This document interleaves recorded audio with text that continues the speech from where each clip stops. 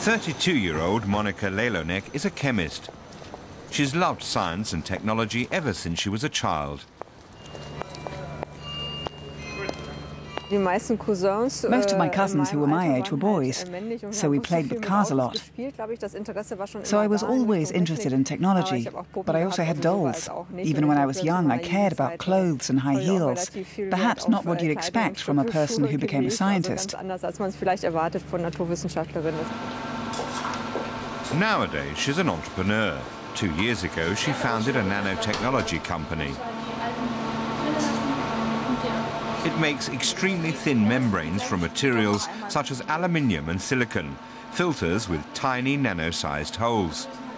She sells them to laboratories and industrial manufacturers. The products themselves are also used in the high-tech sector for new kinds of miniaturized sensors and for biochips and DNA analysis. These are new procedures and new markets that are just opening up sich gerade eröffnen.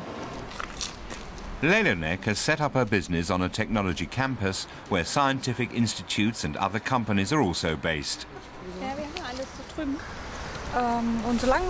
Her neighbour, Katja Richter, runs a biotech company. She's had it for six years.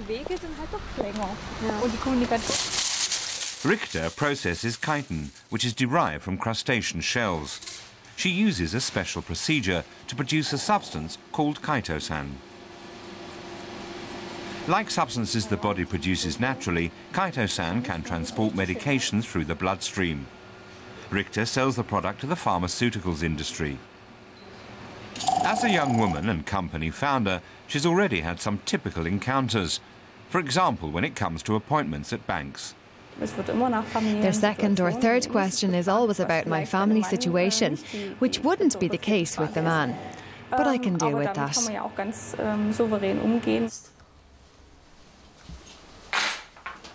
She spends 11 to 12 hours a day at the company.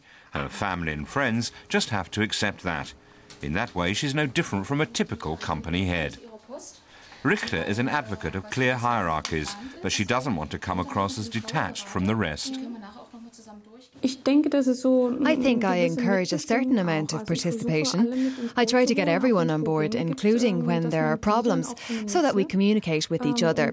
You have to find a solution as a team, because then you're stronger than if you try to fight all your battles alone. Monika Lelonek's workday also lasts more than 10 hours. Here she's dining with the first investors in her company.